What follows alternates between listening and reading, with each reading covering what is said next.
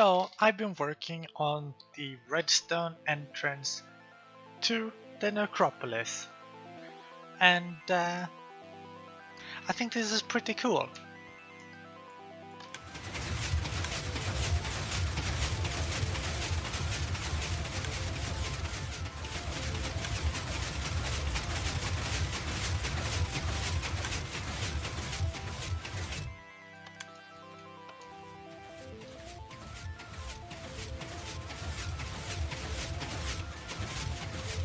And there we go.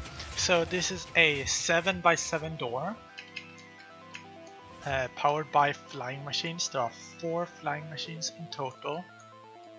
And so you have this opening, the opening two flying machines here.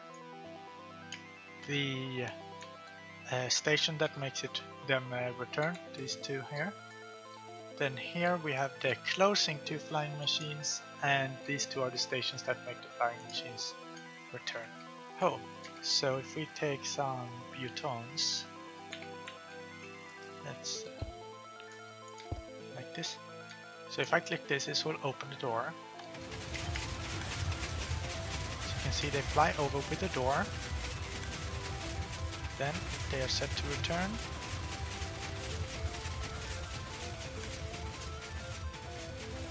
And that's that. And these uh, reset them because uh, this uh, these need um, these two observers needs to be triggered once when it returns uh, and that will extend these two pistons which uh, carries all of the pistons moving the door because if we don't trigger those in extra time these things will be one block further this way and then the flying machine can't start because this will push first and it will try to push all the flying machines plus all of these blocks, which is of course too much. So that's why we need this machinery here. That what it is is basically it's a um, this observer here detects when this observer comes here, sends a signal with quite a bit of delay here, up here, which cuts it off into a quick signal so that we don't get a double pulse, and uh, and uh, this will extend which triggers this observer which uh, once which uh, just extends this one like really quick back and forth. Since we cut off the signal just goes really quick back and forth and leaves the block behind. So that is the design there. And if we do this you can see it close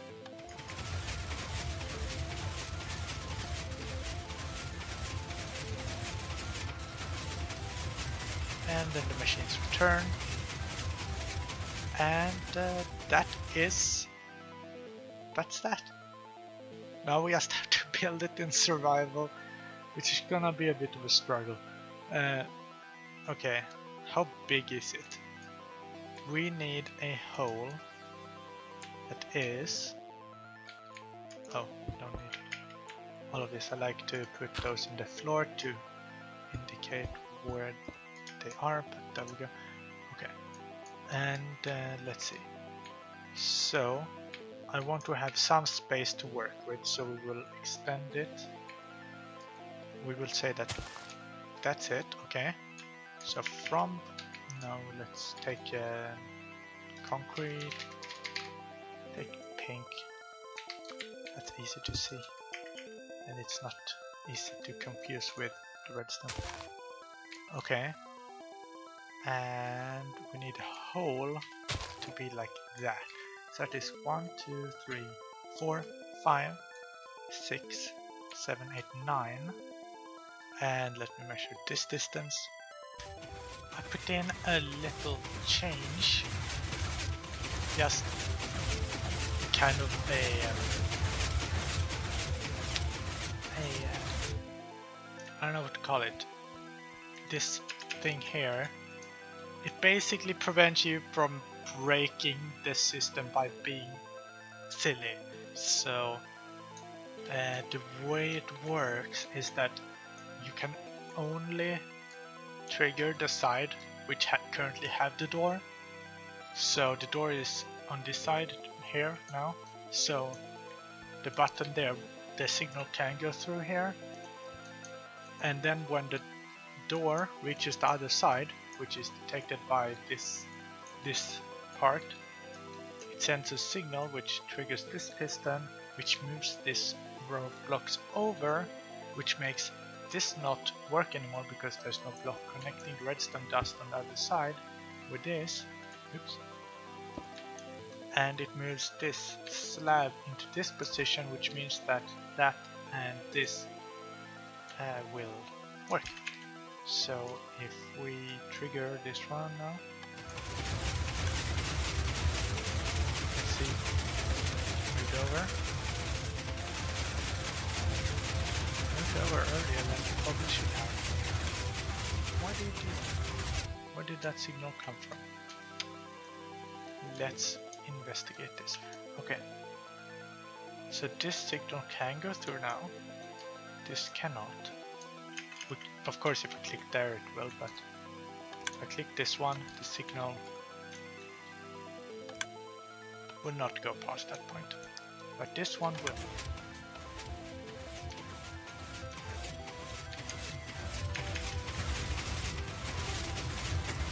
Okay. Um, so when exactly does it, how does it trigger so soon? In theory, whenever there's a block above this, that one should extend. Oh, yes, I know. Of course, it's the same problem I had earlier.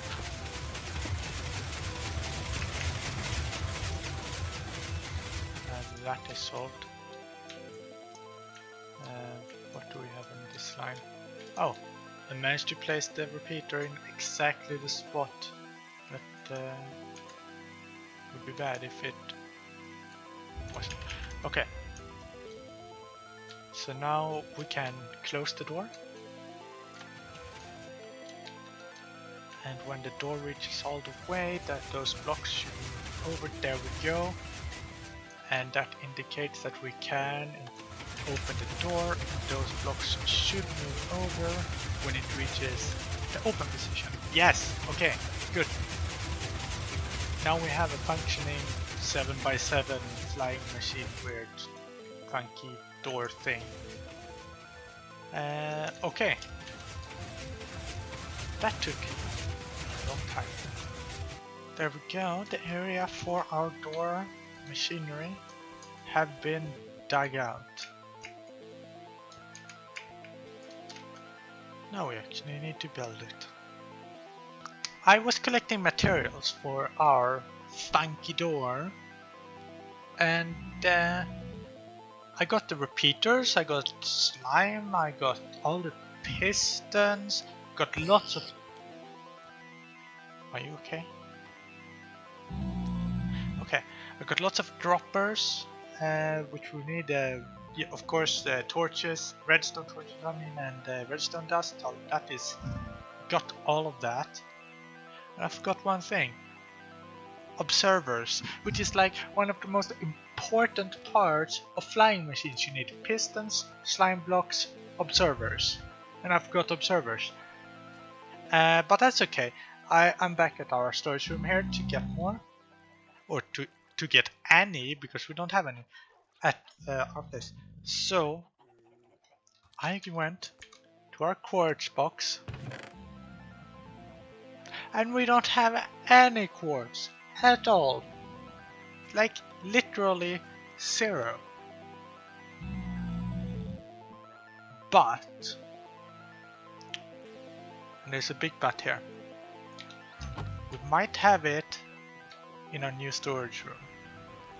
So we're gonna check that.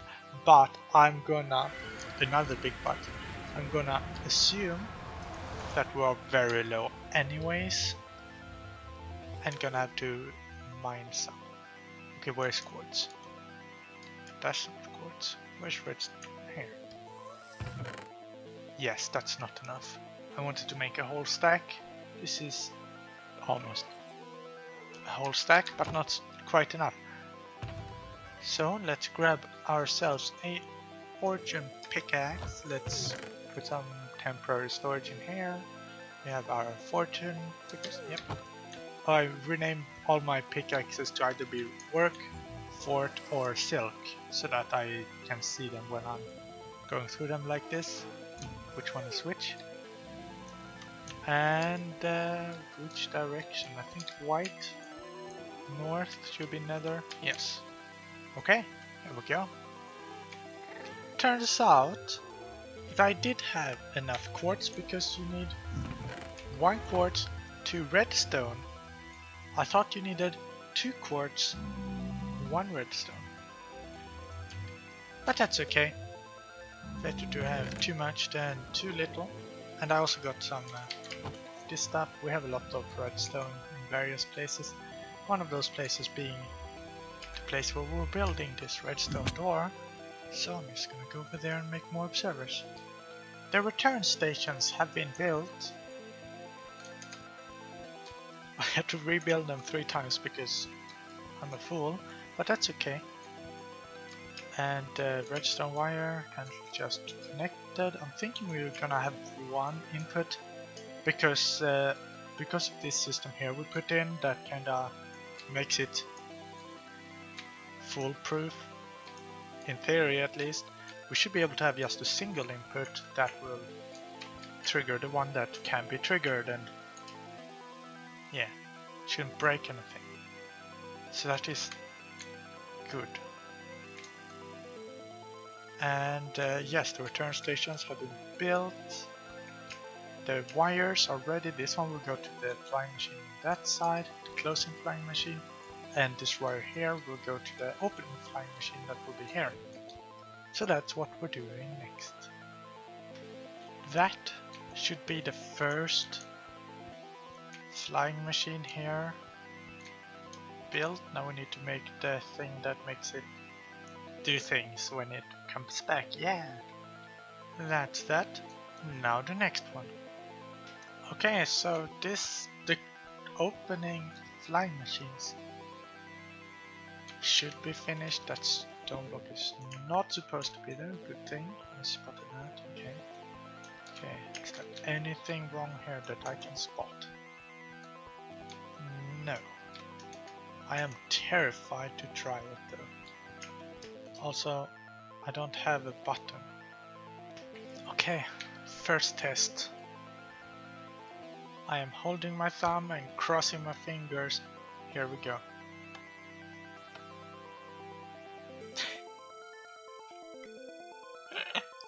I am so good at redstone. I just realized as soon as I click the button that I never connected the button. Just ends here. It doesn't actually connect to the machine. So let's fix that. Okay, now the button is actually connected to the machine. Hopefully this goes better. Okay, here we go. What happened there? Ah, I'm okay. now that the button is actually connected, let's try again.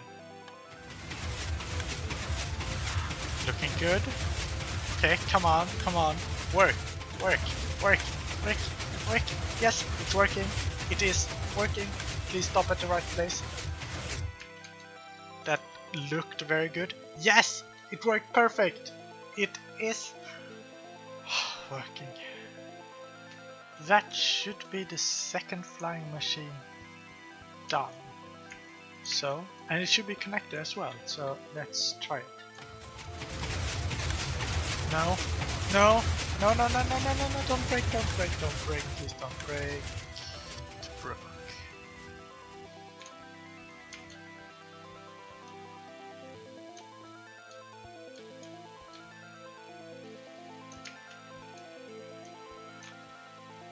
Huh?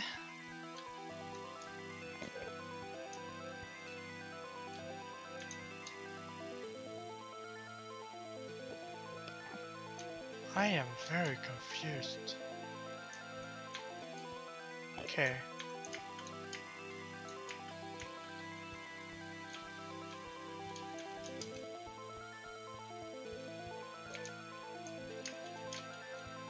Okay, so um, what broke. Well, this shouldn't be too hard to fix. We just have to remove this one. Let's see what, what is actually part of this one. That's a good question. Okay. There we go.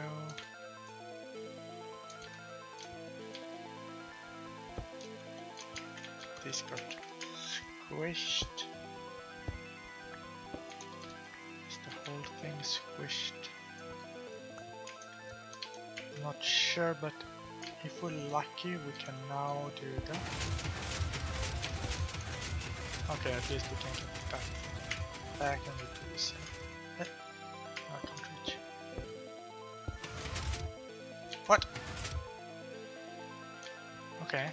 Um, something is very wrong here. Okay, I managed to divide. We got all the four main flying machines back, so that's good. Now we're gonna see, without the whole part, like these other parts of the flying machine, what actually went wrong. Because currently, this should trigger only this flying machine. But that is triggered, and that is not triggered. It's good, it should... Okay.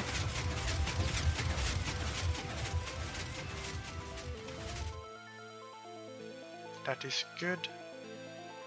Next, should trigger those, but not those. At some point. Uh,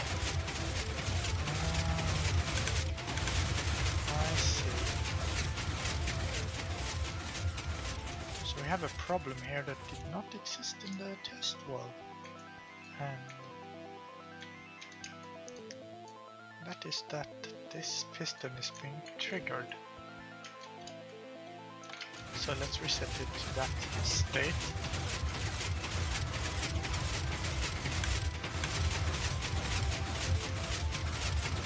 Okay. In this state, we are triggering this piston, but it's not supposed to be triggered. So, where is that coming? Does it work if we move this line a bit back, maybe?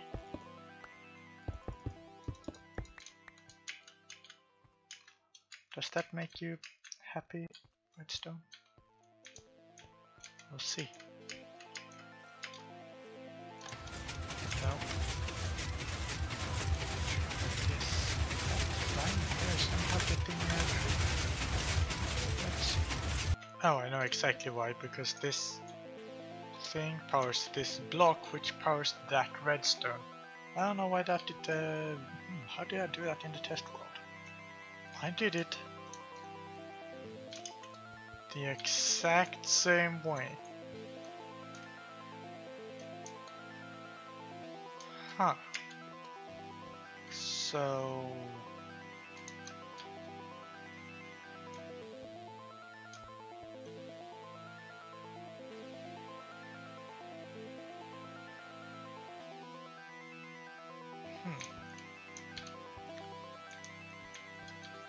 Okay, so well this is broken too, but how can we fix it? Okay, I decided to move this repeater one block over and have the redstone there, so this block gets powered, which powers this redstone, but nothing below or beside should be powered. So let's try it again. It should power just that side, not the other side.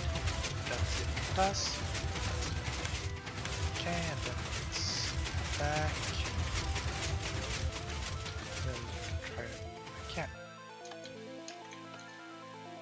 Okay, there we go.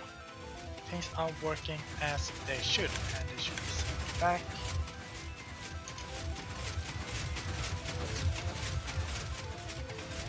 Yes, perfect. And uh, these parts have been put in, so let's try it again.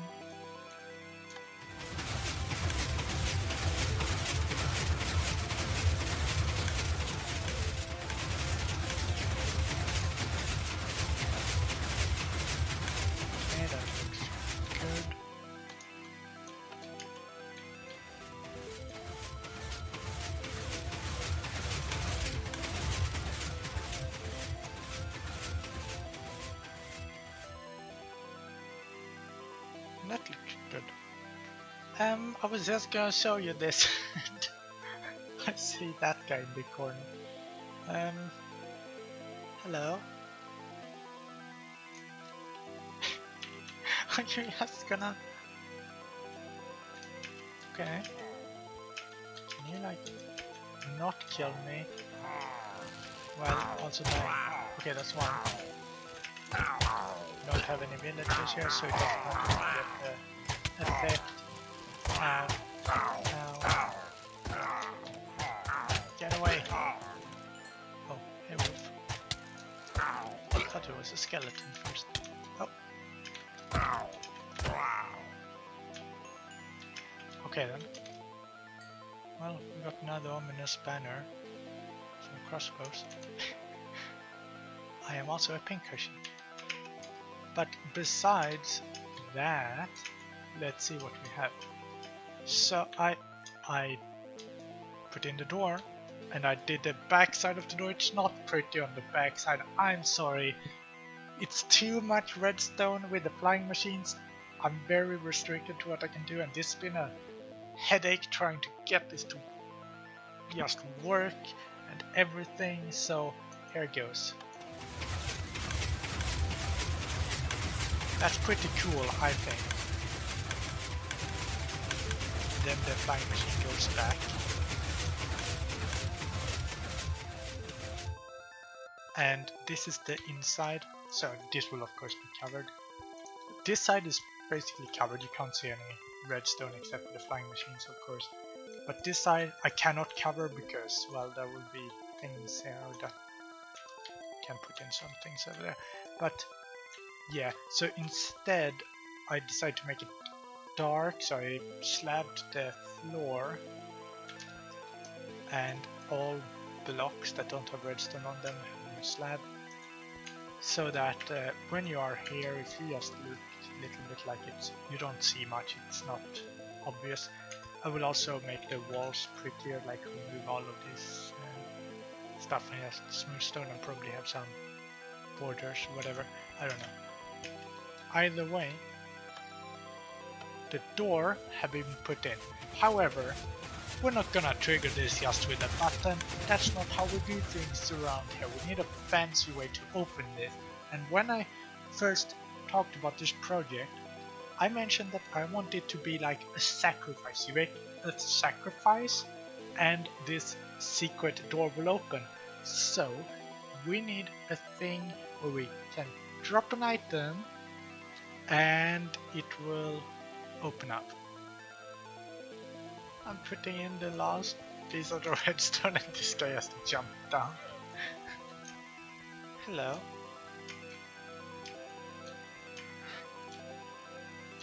And yeah, you can't you can't get out of here. Sorry. So um we can't currently finish the system because there are llamas in the system. A llama jam. We have a llama jam. Since it was a new day and I can't finish the redstone, I decided to actually cover this side up with uh, furnaces so that we don't have a big hole. And uh, yeah, that's what it looks like. It's not super pretty, but at least it's something. Guess you don't see as much redstone anymore. You just see the tracks for the flying machines. Uh, but yeah, I built this uh, part here that that works great to close and open, but uh, we have this button here that's supposed to open and close it from inside, but I need to place a repeater there and that is hard because there is a llama there. Two llamas even. And a wandering trader. they despawned. They just vanished. That's kind of weird, but uh, good at the same time.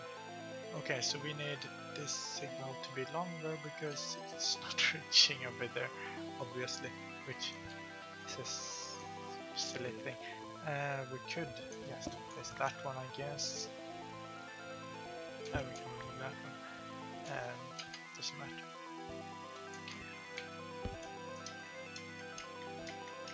Let's grab ourselves a uh, repeater. Now that the door has been finished, we can actually try it out.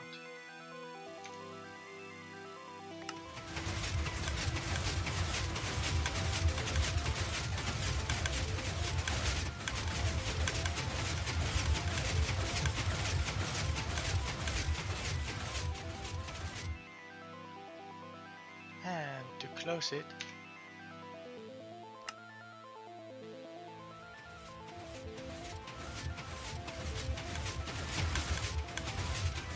this thing opens. Uh, so um, this is a cauldron. There's just a hopper beneath it, uh, leading into a dropper beneath here.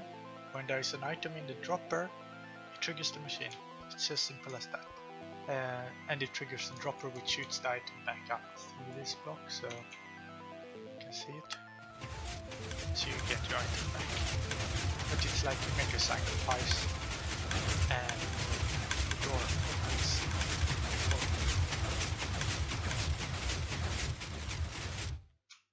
And from the inside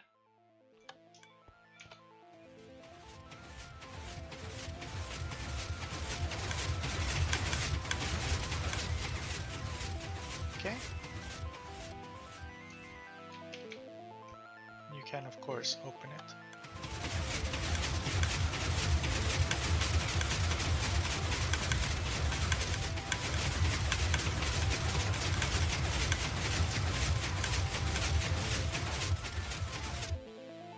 It has some funky stuff there, but that's okay. And now we have our entrance completed to the necropolis. Thank you so much for watching this episode, and I'll see you next one. Bye bye.